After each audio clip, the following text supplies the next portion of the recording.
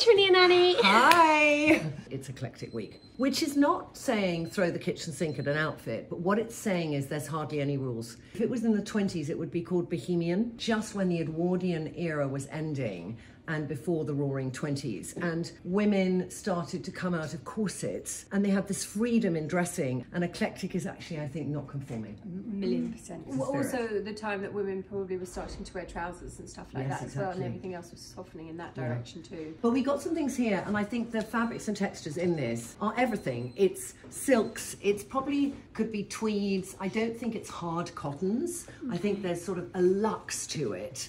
And it's definitely a combination of lurex and sequin and a bit of faux fur together. textures, mm. Exciting textures textures. that maybe you would avoid ordinarily every day. Yeah. Some people Yeah, would. yeah. Yes. And you can layer on layer and layer. You can layer on layer on layer, so it's going wild. This is really unusual, but in case you have a trouser which is very stiff fabric, stiff fabric doesn't hang well if it breaks on the shoe. Yeah. They overwhelmed anything I wore. So I then said, "Eh, Susanna, let's cut them off and make them ankle. And then what should we do with these? So maybe not with the Lurex, but I then had them made into cuffs so that I could put them on, let's say, a navy jumper, and I want something a little bit more interesting, and it just adds a dimension to it. It's Inspired. quite And no waste. And no waste of fabric, exactly. The shoes are the perfect gold to match those They are, trousers. they? Yeah, because we were thinking, should it be something like, you know, would we even also do something like that? Because leopard print and pink go well together, and there is a pink coat going on this. So we're just going to try both, and we can all think which one looks better. So, This is a very difficult decision. okay, which one do you like, Jemima? That or that? Um, I actually love the gold. I think it extends your leg a lot more. Annie? I think you're right. I Yeah. like the gold too. Yeah. The gold it is, fantastic. All right, let's put the gold back on and let's show you the final outfit. But I quite like also the la la. gold poking out there, you see, Yeah. like that. That adds a dimension. I don't know if the green is too dark for the trouser, but I sort of love that flash of everything. We might consider belting it because, you know, just had have some gold, doing that with it too, with the green popping out. That Gold ties it together. I actually do really love the belt. You can shape it. Yeah. That's the beauty of it. I mean, I've got this, mm-hmm. like I'm just about to be the surgeon. Yeah, the You stethoscope. know, that would be fully on eccentric, I think. That What is the rule for is more more? less is a crime. yes. But I'm I'm sort of wanting something light out of you. I'm not Yeah. just wondering about the green, but I almost expect the gold there because of the gold cuff. yeah. So the other thing is to put the gold here if it fit. Are we missing then the gold on the cuff? I mean, we want it everywhere, don't we? Yeah. It's pretty fab. So we're building the outfit, Jemima, and we're just checking now different jewellery. We were thinking we wanted some gold around the thing, so I've got this necklace which we could use because it brings the mm. green. But when I take my outfit off, does it still feel fab? It doesn't want to just be the entrance moment with a eclectic. You've got to be able to take the layers off so that you're not sweating like a pig, and still feel you've got that moment. So if I bring the trouser up, that's crucial here, getting the waistband in the right place. If you're wearing an ankle strap with a shoe, you need to have the trouser at a point you see the ankle strap, like that. Okay. If you took the belt off with the coat, would you add the belt back on to this outfit? To this outfit like that. Yeah. It doesn't work. You see, it just even though we say more is more, it's got to be more in the right place. And then we add this on. Now I've got the trousers higher. I'm going to put the belt on the location of the waistband like that. Mm-hmm. And I'm not going to have it closed. I think I want to see that bit of the trouser. So if you are wearing a belt over a coat and you feel it doesn't matter what your shape is to do this, it's winching it in. So whether you're a size 22 or a size 8, it's getting that shape. But if you do it like that, you'll feel like a big full teddy. So it's important to see some leg and maybe separate out the coat so the lapel is there. You're still getting the look and you can just do that. Such a good tip. Gold, pink, and green are fabulous Oh together, my aren't god, they? are they? They're just like, and it's so different. If we had red here, the pink makes it work. Okay, so what makeup are you wearing, Trinny? I've got on that lovely chance as a mm-hmm. base. It's like a dirty rose pink. Mm-hmm. And then over we've put joy on you in a light shade. And then a little bit of Sacha lip love on the lip, which will kind of, you can wear with pink and you can wear so many colours, Sacha. It's a very versatile shade. It's got a bit of apricot in it, a bit of pinkiness in it. And then cheeks. Cheeks is just Wiggs. Very glowy. What's going on here?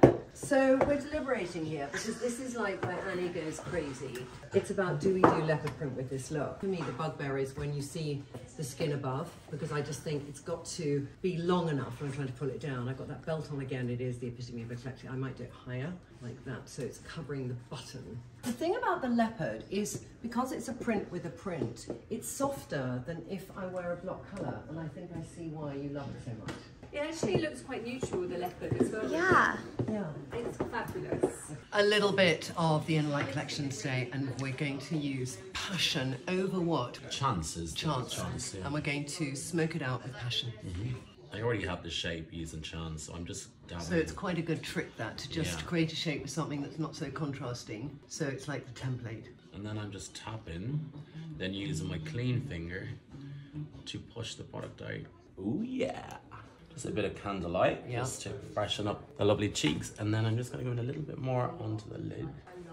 And there we have it. This has such happy memories for me because this um, outfit is from so many different times in my life that I have bought Prada. And um, apart from the boots, everything is Prada. So, of all these things, the first Prada thing that I bought was this bag, which is actually, this is Venice. And every few years, um, Prada has done a collection where she's had a beautiful painting done of a town in Italy. This is actually Milan and it's the Duomo in Milan. And so that was the first piece. The second piece I got, I have to remember here, but I think it was this necklace. And there was a time when she did these amazing necklaces and I had quite a few of them. And I think I have a brown one left, but that goes there. So you're turning it into a collar. Yeah, I mean, it can be long, but for this instance, I do actually want it around the neck.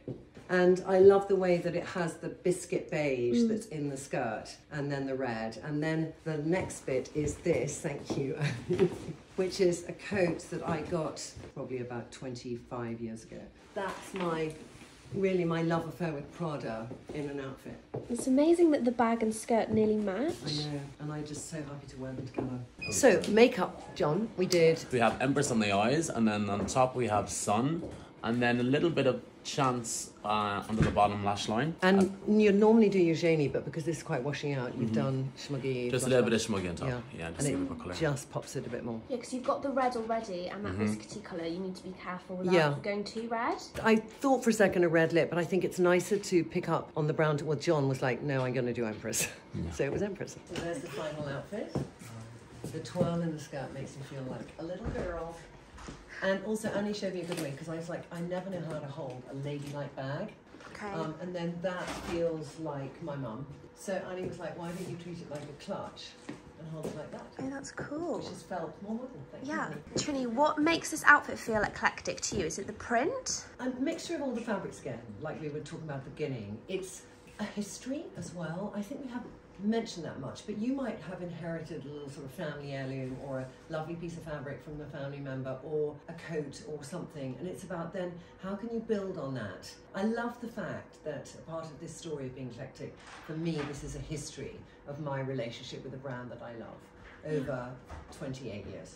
If you're a brunette, Yeah. is it difficult wearing brown because you don't do it too often? For me, it is difficult. I know lots of brunettes who look amazing in brown, but they might have beautiful brown eyes. With blue eyes, wearing this khaki brown, what I call I've had a really bad tummy problem brown. it's not so great. This colour, because there's suede and there's texture to it, is better on my skin tone. This on its own needs some help. That's why the necklace is really good to frame my face. So So, I have to be very careful on those brown tones, yeah. Do you Yeah. wear brown, Jemima? Never. Never. I'm tempted to get the medium large because I want the shoulder pads to be broader. What is it, Trinny? It's what I call a fringe cape, bit of nothingness, which could be a bit of everything. It's sort of wearing a necklace across your whole body, but it has the potential that you could wear it over black and just do that. And have, I just have to get the friends to all behave. So I could do that, I could just do up that and have that there.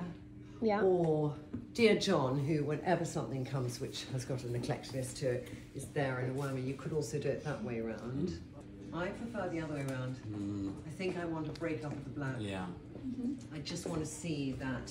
What about And the socks, guys?